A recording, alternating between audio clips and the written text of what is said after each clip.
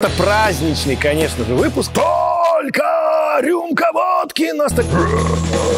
35 миллионов просмотров. Sunny, yesterday my life. Ау! Пишет возмущенный зритель. Ты, Пушной, должен нам пророк рассказывать. Теперь я уже знаю английский. Привет, я пержера продюр, лабила мелону дюдюр. Олимпийский, не вижу ваших рук.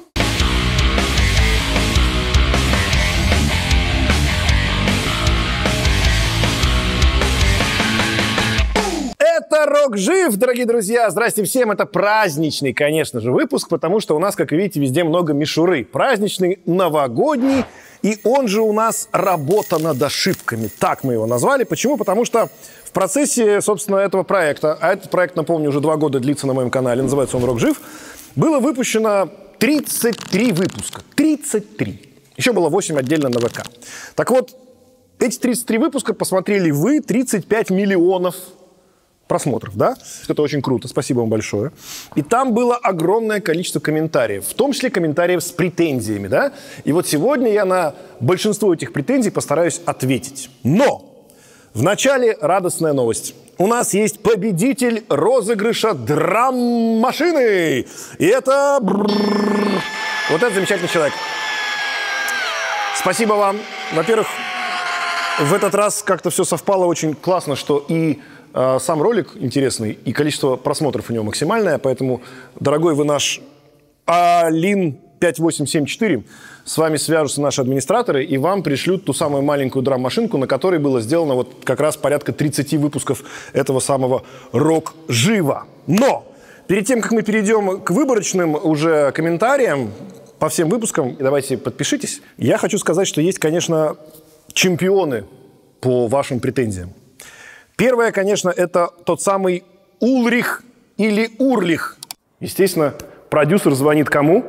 Конечно же, Урлиху, Ларсу, и говорит, Ларс, а ты знаешь, что наша песня играется по радио? Да, действительно, у меня есть такая вот страшная болезнь. Я не знаю, как она называется официально в документах. Меняются буквы местами, и мне кажется, это не страшно. Вообще, на самом деле, вы можете провести такой эксперимент.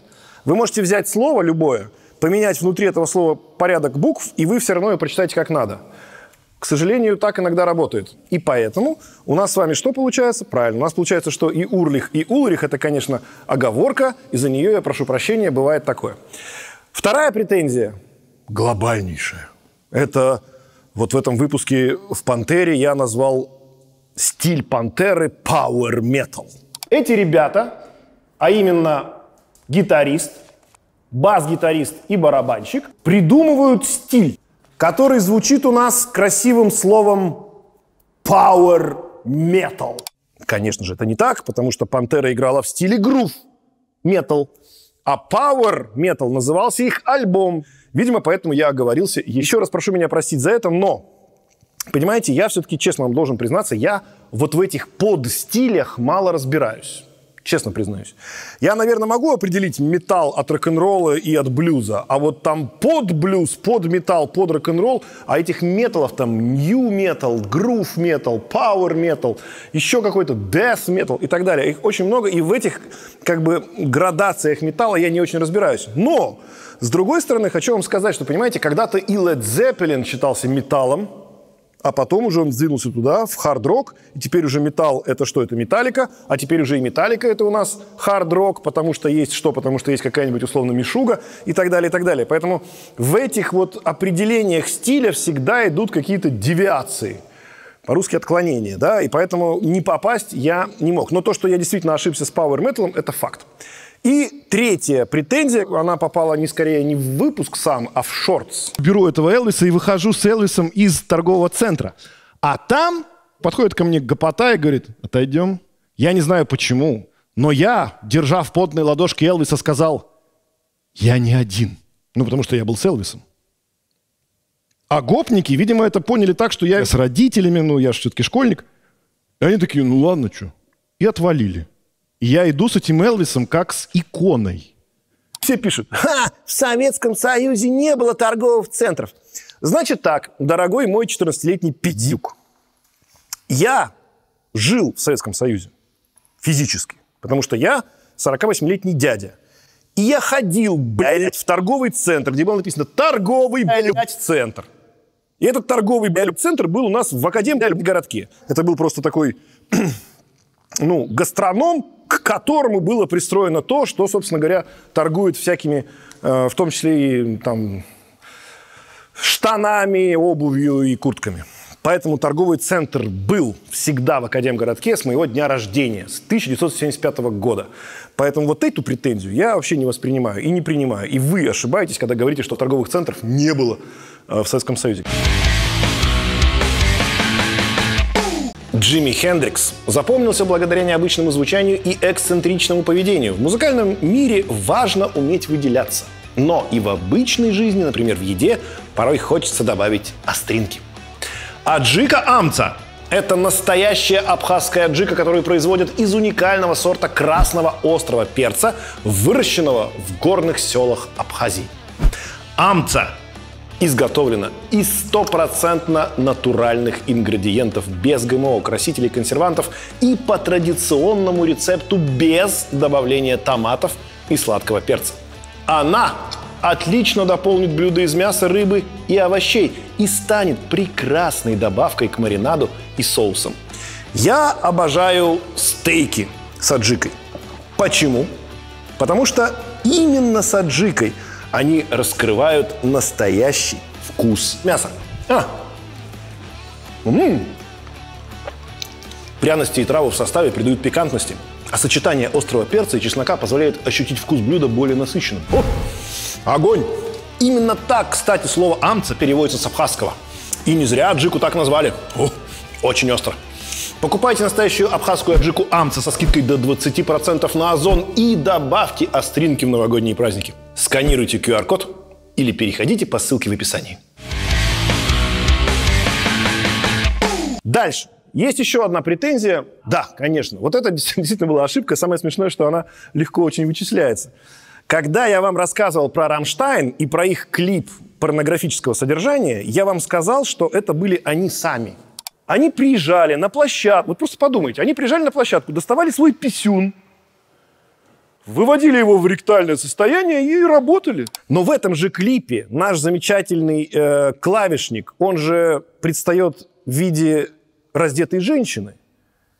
Ну, то есть у него там, простите, вместо одного вида половых органов другие виды – и понятное дело, что уже глядя на это, можно понять, что это, в общем-то, монтаж. И да, действительно, в том клипе, который назывался «Пусси», Рамштайн, что называется, пользовались с одной стороны, компьютерной графикой, вот как у клавишника, а с другой стороны, они пользовались дублерами. То есть э, приходил солист Рамштайна на клип, э, снимался, а потом приходили ребята-профессионалы из порнухи и уже доставали свои писюны и работали ими, собственно, в кадре.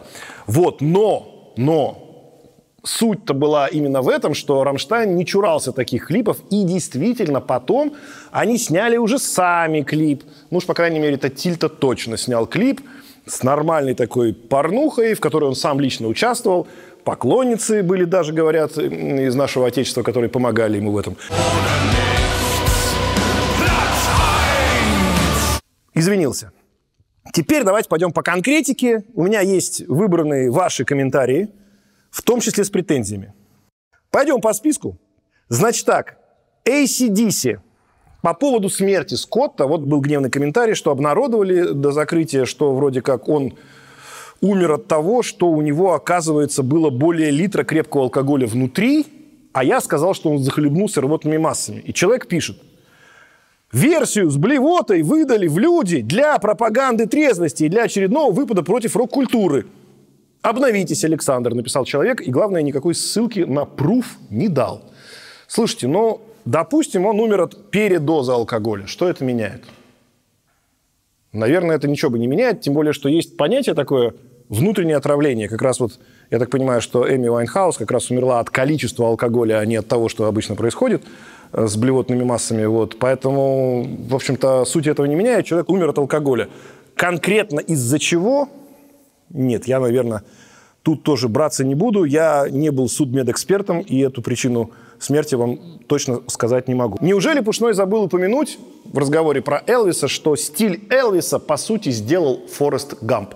Это, конечно, не претензия, а это скорее отсылка к фильму замечательному. Помните, когда э, Форест Гамп как бы пытался учиться ходить, на него глядел, значит, Элвис, который снимал квартиру у Фореста у родителей в этом же доме, и он потом стал также танцевать. На самом деле, конечно, это фильм, это придумка, но это очень хороший комментарий в том плане, что вы меня отсылаете к этому фильму. Ты просто охотничья собака. К сожалению, мало рассказали о музыке, кроме эффекта Элвиса, ничего, мол, не привнес сам Элвис. Вы знаете, вот, честно говоря, Элвис в музыкальном плане, вот чисто музыкальном, он же не придумывал песни, правильно? Как исполнитель, да, а как композитор, да он, ну, нет, наверное, все-таки не в этом его заслуга. Love me tender, love me true.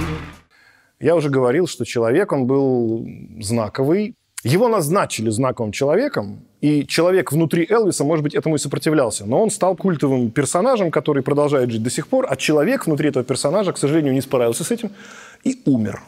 Вопрос про то, как Элвис стал знаменитым, э, пишет большую претензию, что, мол, вот а мы знали, что Элвис просто записал одну песню, отдал на радио, поздравить свою маму. Это столько, настолько оказалось э, классным треком, что люди многие просили, а давайте мы тоже так поздравим этой же песню свою уже маму. И поэтому «Oh, that's all right, мама» взлетела, значит, в чартах. И так Элвис мгновенно стал знаменитым.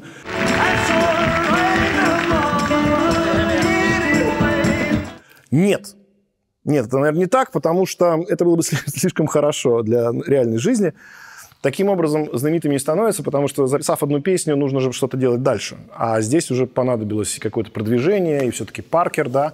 И да, наверное, может один трек взлететь, трек кого-то взлететь благодаря вот такой вирусной э, нагрузке, вирусному способу распространения, но э, популярность Элвиса с, так бы и осталась на уровне одного трека, если это так.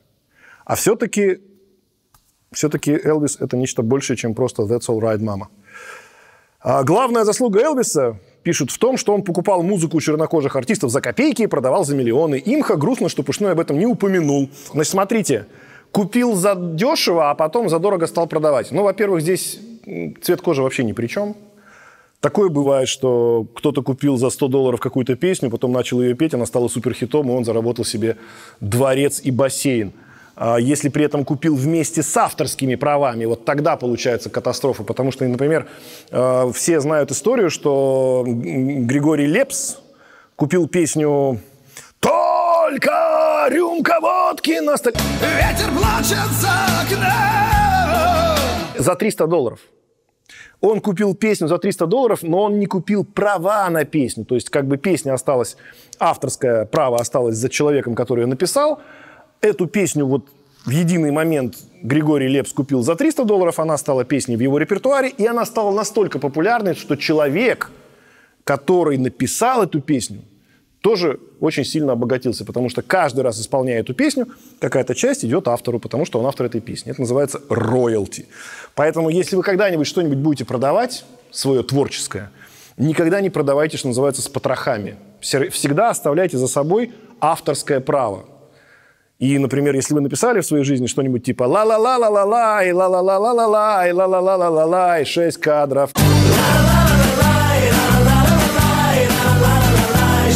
То потом когда-нибудь, может быть, это что-то вам и даст. Так, с Элвисом понятно, двигаемся дальше. Секундочку. Вот. Green Day. Александр, а не кажется ли вам, что они все же реабилитировались в альбоме 16 года, который называется Revolution Radio. Я говорил, что для меня Green Day закончились где-то там в районе 2004. Во всяком случае, там пара достойных треков есть, и по звуку, и по драйву вы обошли этот альбом стороной. Я очень многие альбомы обхожу стороной по какой причине? По двум. Либо я реально не понимаю, что это за альбом, мне он не нравится, и весь Green как я еще раз повторю, после 2004 года для меня существовать перестал. Либо эти альбомы я просто, что называется, пропустил, и они мимо меня прошли тогда, как вот в случае Слеера, я говорю, расскажите вы мне о нем, потому что альбом 2006 года Слеера я не послушал, и оказалось зря, потому что он очень драйвовый и классный, а вот так совпало, что он в моей жизни не появился. Но вы мне об этом сказали, рассказали, и я потом могу это все дослушать уже после.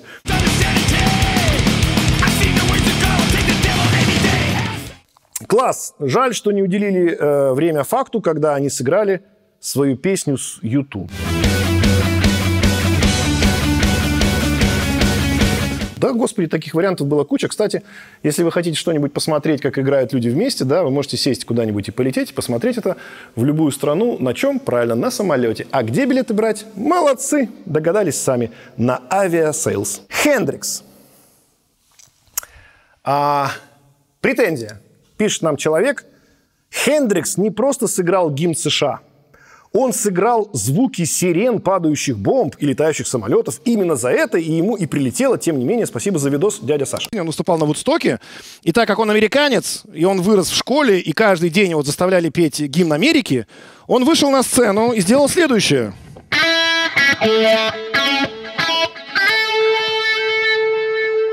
Со своей гитарой вот этой жужжащей.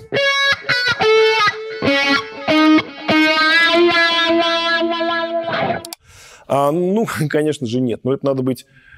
Хотя можно, конечно, услышать вот в этом заводящемся звуке гитары какие-то падающие бомбы, но это слишком сложно. Ему прилетело, скорее всего, за то, что он просто так сыграл гимн.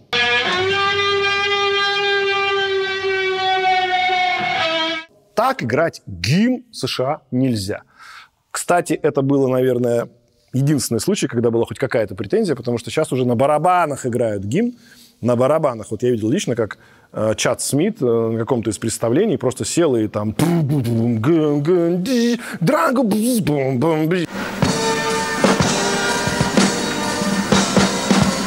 И все говорят, во, классно. Ну, просто у них вот такая культура исполнения этого конкретно их гимна. Угу, угу, угу, угу, угу. Вы иногда пишете, что я не точно знаю, откуда взялась песня. Вот опять же, к Хендриксу очень круто, что Джимми стал героем передачи. Вот только «Hey Джо» в исполнении Хендрикса – это кавер песни малоизвестной группы «Leaves». Но я и говорил в выпуске, я говорил, что это кавер. Я не сказал, какой конкретно группы. Есть только Джимми Хендрикс, который взял известную песню, многие ее перепевали, перепел сам, и вдруг, опа, и Джимми ее вывел на новый уровень, но не его группа была авторами все-таки. Вы знаете, таких случаев много. А, я уже, по-моему, делал даже выпуск у себя на канале еще давным-давно, как многие вещи, которые мы с вами знаем, они являются каверами этих исполнителей. То есть, например, I got my set on you, I got my set on you. To do it, to do it, to do it, to do it, to do it right. Это же кто у нас? Ну, Харрисон, да, Джордж Харрисон, это не его песня. Почему? Ну ладно. Потом uh, Sunny, yesterday my life.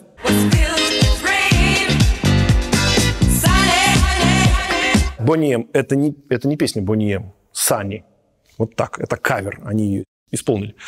Ну и самое удивительное, что джин джин джин джин vacation in the foreign land – Uncle Sam, your best he can, you're in the army now. Oh, oh, you're in the army now. Это не статус-кво. Самая популярная песня статус-кво – это не статус-кво. Это какая-то группа, которая называется Болон и Болон. Причем, более того, они в оригинале эту песню поют точно так же, как потом ее сыграли э, статус-кво. Точно так же, в той же аранжировке, просто чуть, чуть более дрябленько. You're А статус-кво стали популярны с этой песни, хотя эта песня не их. Но таких огромное количество случаев в жизни. Led Zeppelin. Претензии по Led Zeppelin. Саня Красава только в одном не прав. Иммигрант Сон звучала за 10 лет до топ Рагнарёк в мультфильме «Шрек 3». А сегодня современная молодежь тоже знает, что такое... Почему?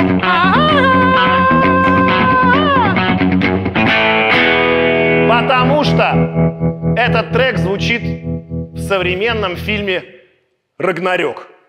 Тор, Рагнарёк, Рагнарёк, Тор. Я не помню, там какая-то каша из этих всех э, значит, героев, супергероев. Короче говоря, все дети знают эту песню именно потому, что она является саундтреком к их любимому фильму. Вот! Молодцы, Led Zeppelin, прорвались сквозь время. По-моему, в «Рагнарке» звучала эта песня. Но вот люди слышали ее 10 лет назад в каком-то другом фильме.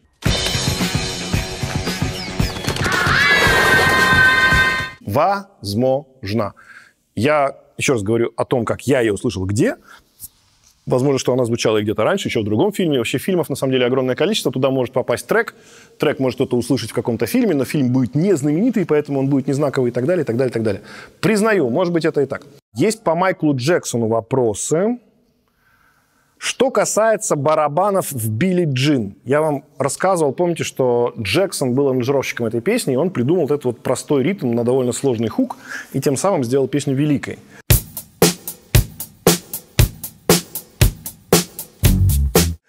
Эта идея возникла у Майкла до создания этой песни во время перерывов на концертах с группой Джексонс. Он хотел, чтобы звучал размеренный ритм, не позволяющий расслабиться слушателям и поддержать их настроение.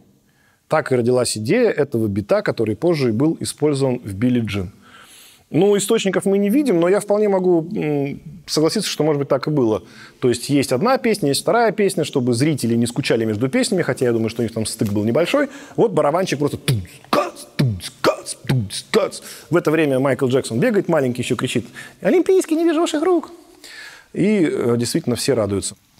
Во время студийной записи «Билли Джин» это тоже комментарий, некая претензия, был потрачен целый день для записи барабанной партии. Нужно было сыграть один рисунок на протяжении всей композиции одинаково, чтобы качало без использования лупов и сэмплов. Было записано много дублей. Целый день Куинси Джонс мучил барабанщика. В итоге из всех записанных дублей выбрал самый первый. Может быть. Может быть. Я об этом не рассказывал, потому что не знаю, как там было на самом деле, но вот видите, кто-то знает. Пишут про Никельбек, что из всей песни знаешь только одно слово. Вообще, в принципе, вы заметили, наверное, да, что я очень как-то так фривольно отношусь к тексту английских песен. Конечно, слов не знаю я, и слова мне не нужны. Почему? Да потому что потому. Бананы ему. По одной простой причине. Я не знаю английский язык настолько, чтобы свободно им владеть, чтобы петь. Поэтому я, как и любой человек, запоминаю песни на слух. И я могу даже вот на французском вам «Приятель пержера продюр, лабила мелоно дидюр, тревел диден траванду, лабади бати да дизир». Что это значит, я не знаю. Наверняка это не так. Но я запоминаю звукосочетания, а потом уже иногда из этих звукосочетаний я понимаю, что там есть какой-то смысл ну, she loves you, yeah, yeah, это слишком просто.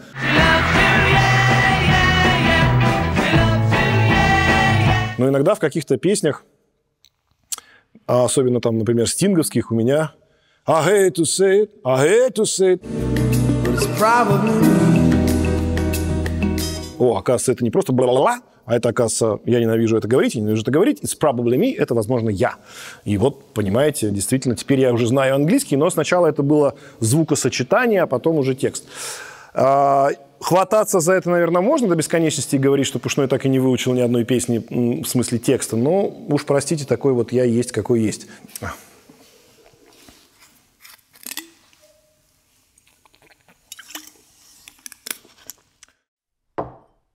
Да это известная история, почему они их все захейтили. Речь идет о том, что все захейтили Никельбек. Просто из-за вирусной шутки. На одном юмористическом шоу ведущий или гость, точнее не помню, пошутил что-то типа «Если проиграть Никельбек заду наперед, то вы услышите голос сатаны». Вообще говоря, для рокеров это, по-моему, наоборот, комплимент. Собственно, потом и понесся хейт в сторону группы. А так никели сами уже относятся к себе с сарказмом и уже смирились со своим статусом шутов. Тем не менее, это не мешает им собирать стадионы и выпускать продаваемую музыку, которая хоть и однообразна, но местами радует. Кстати, в видосе ни одного слова про роскошные баллады и вокал самого Чеда, которыми они славятся априори, и что тоже является предметом ненависти, сказано не было.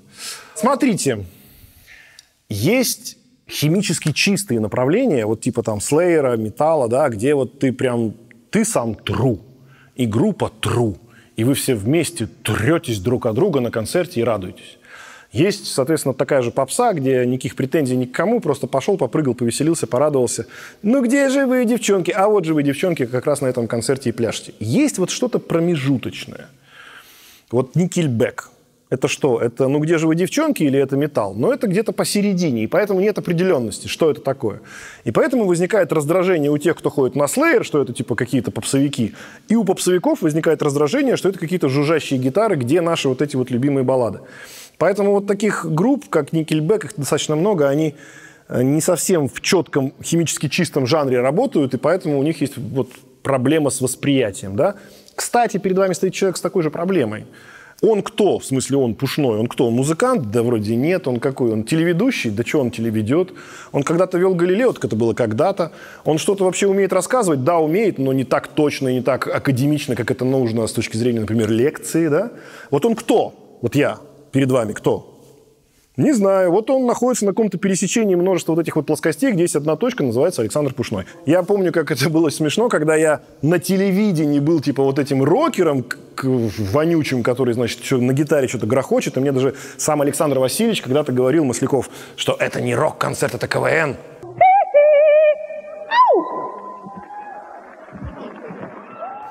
И я такой гордый рокер, в, в- в телевидении, да, рокер из телевидения, приезжаю на нашествие, и мне говорят, приехал этот клоун с телека.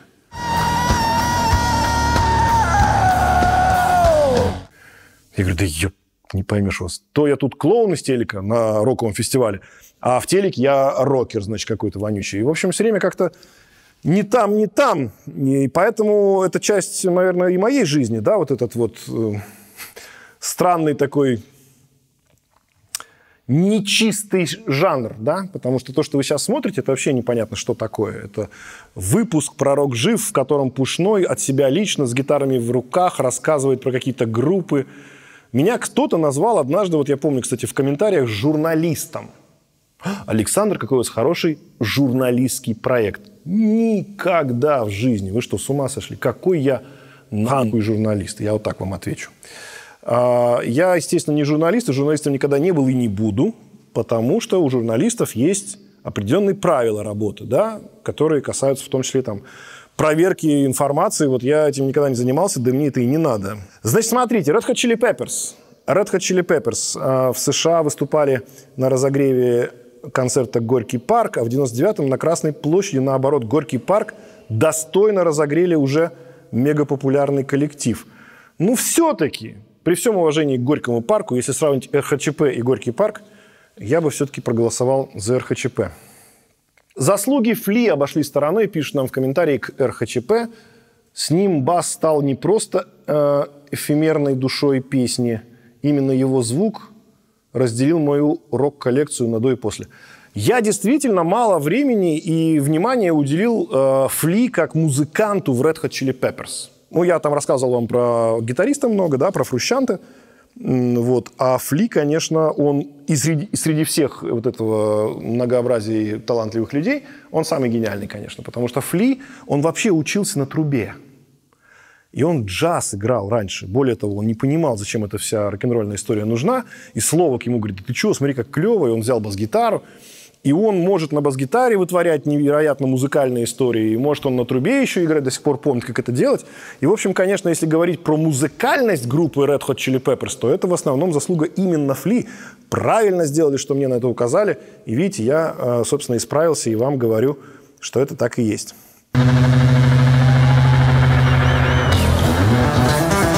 Недавний выпуск Slayer. Ну-ка, что тут? А, вот мне написали, что Slayer... Я помните, вам Slayer играл на фортепиано? та да та да та да та да та да та да та да там Даже вот этот вот может быть аккорд, но не вот этот. Так вот, Slayer на фортепиано давно и более-менее успешно играет «Wick Goes Wild». Несколько лет назад она, это, судя по всему, женщина, выкладывала целый концерт из их номеров. Ну и не будем забывать про э, кавер Тори Амос на «Raining Blood», которому 300 лет в обед.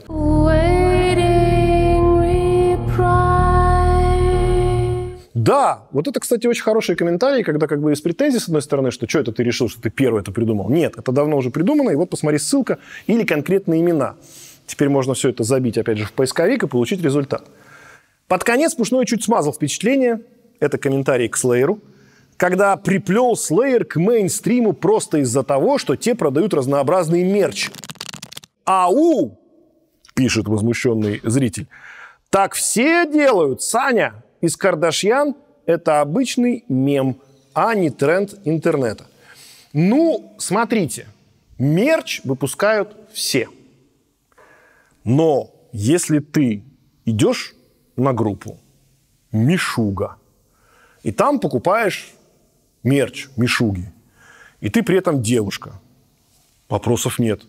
Ты отстояла весь концерт, оглохла. После этого, конечно, ты натягиваешь э, на обвисшие сиськи какой-нибудь мерч и говоришь дома.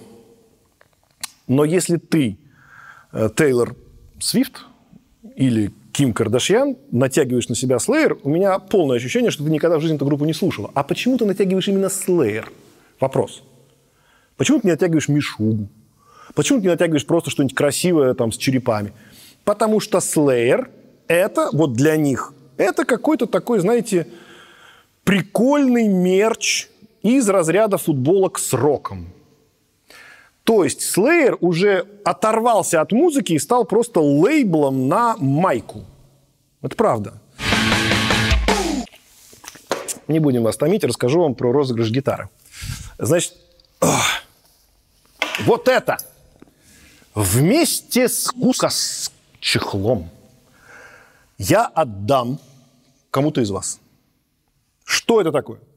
Значит, это гитара, которая была куплена мной два года назад за бешеные деньги. И на ней вот практически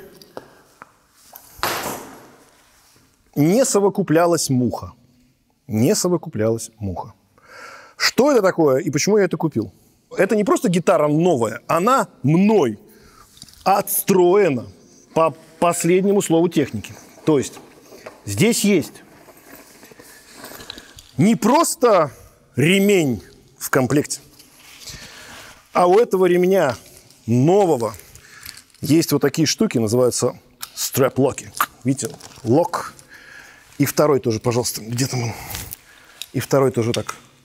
Оба, лок. О, здесь же висит ключ. А это что такое? Это ключ от того самого Эва-тюна. Вот, вот тот самый Эва-тюн. Самый лучший в мире э, бридж, который держит строй. То есть, если вы эту гитару выиграете, и она будет у вас дома, не поленитесь почитать, как это работает. Иначе вы сломаете это просто, понимаете, и вам будет обидно. Значит, строй все время есть. Да, сейчас включу. Смотрите, быстренько врублю ее в свою педаль. Вот. Ух! Звук! Это нек у нас. Нековый датчик. Ничего не хрустит, новая гитарка. Это у нас бридж и нек вместе. Это просто нек.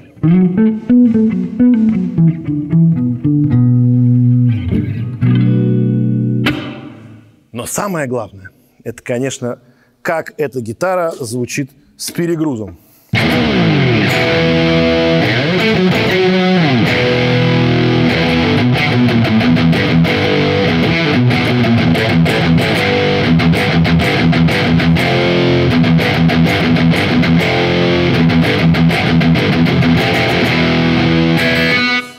Буду ее разыгрывать, идти на... а, простите, да. Так вот, почему, собственно, я ее буду разыгрывать? Потому что она у меня два года лежала дома, и я даже к ней не прикоснулся. Это абсолютно новая гитара. Я подумал, вот почему она у меня лежит, и никто ей не пользуется. Так не должно быть. Гитара должна играть. Поэтому конкурс.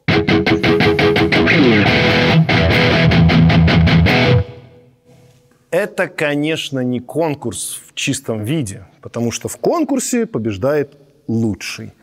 А сейчас будет абсолютно мой субъективный выбор среди вас. Как-то вы мне должны понравиться. Как, я не знаю. Но задание будет музыкальное вот почему. А Эта гитара не должна попасть в руки к человеку, который ее возьмет и повесит вот так на стену или положит куда-нибудь в шкаф, как я. Она должна попасть к человеку, который будет на ней играть. И в этом смысл. Поэтому вы берете любую гитару, это может быть акустика, а может быть вообще даже не гитара, и записываете риф.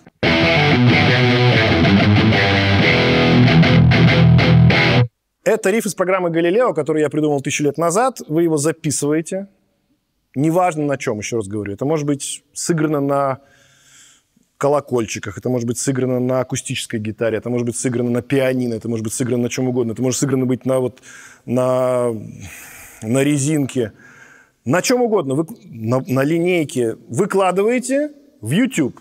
Ну, желательно, чтобы это был какой-нибудь шортс коротенький, да, как раз тут, собственно, в минуту уложитесь точно. Вот. И пишите хэштег «Хочу гитару Пушного». Я смотрю все.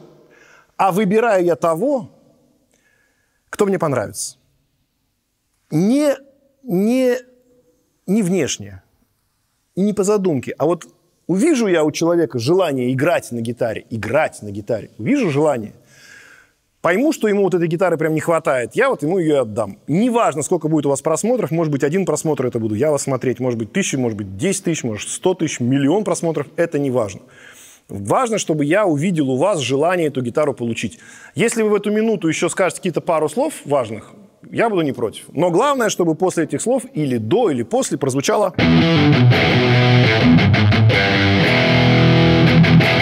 Может быть, вы сыграете даже лучше, чем это я делаю сейчас. Она же еще как у Хэтфилда же, правильно? Она же это...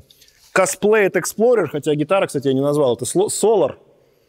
Какой-то там чего-то там. Вот. И можно же вот так еще играть.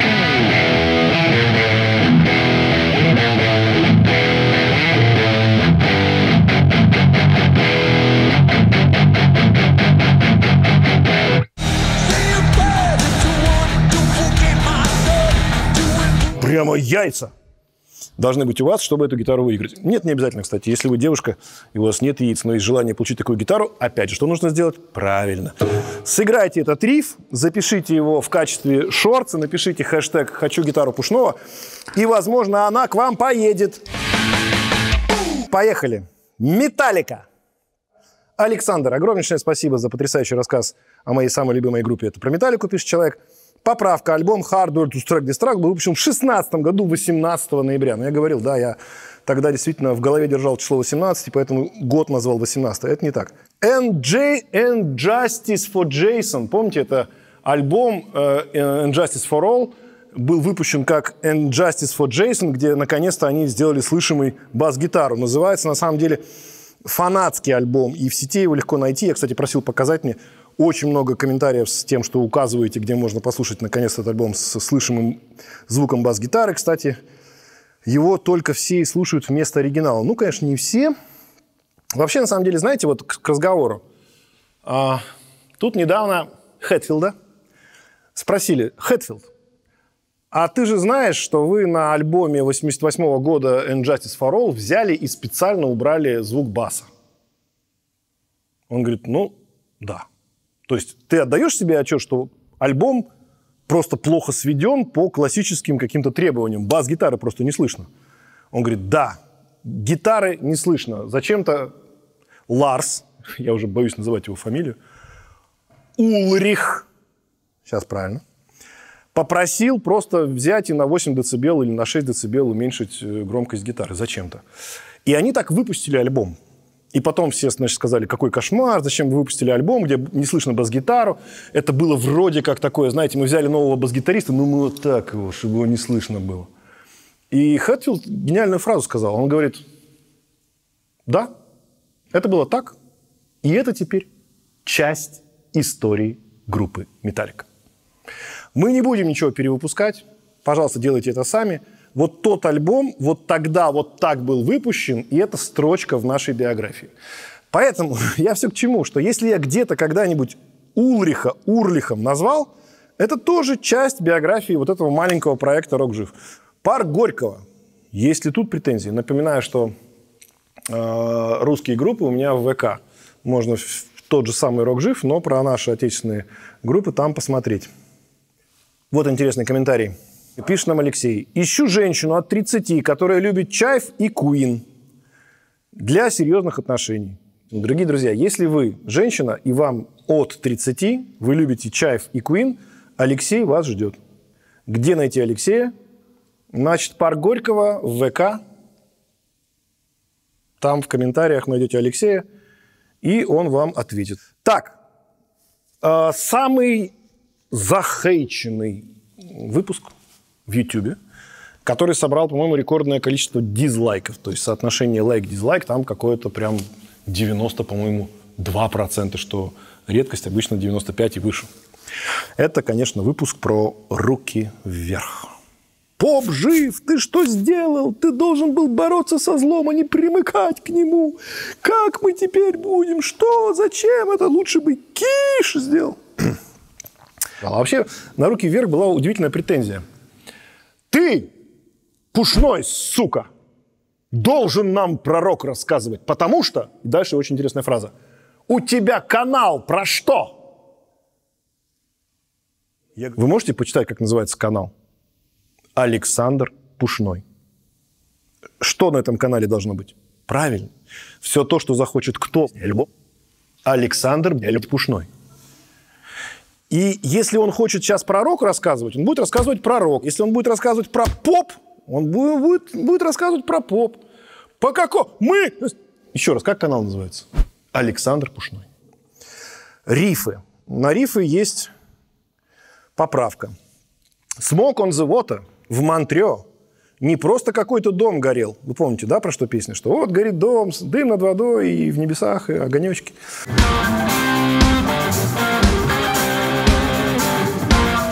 В нем их аппаратура вся была.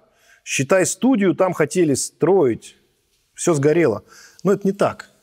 Но это не так, потому что в песне поется, даже конкретная фраза есть.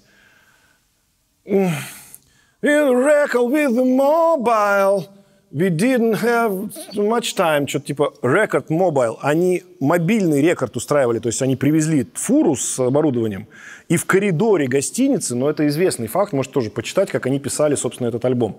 Они были в отеле, а рекорд-студия, Mobile рекорд-студия, которая передвижная на колесах, стояла на улице. Там почему сгорела аппаратура? Потому что это был концертный зал, где выступал Фрэнк Заппа. And Frank Zappa and Mothers. Что-то там выступали, а потом какой-то stupid guy, какой-то фейрган и так далее. И вот потом уже smoke on the water. Поэтому там сгорела аппаратура, на которой играл Фрэнк Заппа в этом доме но не та, на которой, как вы пишете, должны были писаться Deep Purple. Значит, что я хочу сказать вам, дорогие друзья. Есть те группы, про которые я хотел прям рассказать, хотел, хотел, хотел, они уже все лежат. Есть те группы, про которые я еще могу рассказать, и они тоже для меня что-то значат. И я про них расскажу. И, наверное, там, да, есть Black Sabbath, там, да, есть Doors, там, наверное, есть, конечно, и вот куда вот Депешмот запихнуть? Вот куда запихнуть Депешмот? Вам про Депешмот рассказывать или забрать в поп жив? А? Не, давай нам расскажи. Так вы же обосрали поп-жив. Не, ну... Короче, а, с Новым годом. Я поздравляю вас с тем, что вы живете на планете Земля. Почему? Потому что вот Уран, он вращается вокруг Солнца, один оборот делает за 80 земных лет. То есть, если бы вы, например, жили на Уране, и мы с вами все жили на Уране, то мы бы справляли Новый год один раз в жизни – тем, кому было 80 плюс. Все остальные дохляки, а это 90% нас с вами, ни разу бы в жизни не праздновали Новый год. Представляете, как мы должны быть благодарны замечательной планете Земля, что она так быстро вращается вокруг Солнца, что за время биологической жизни ты можешь много десятков раз справить этот замечательный праздник. С Новым вас годом!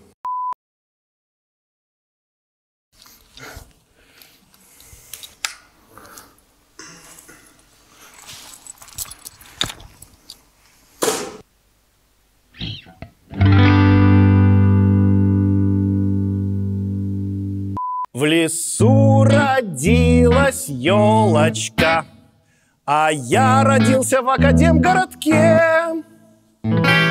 И если здоровье позволит мне, я буду на Ютубе.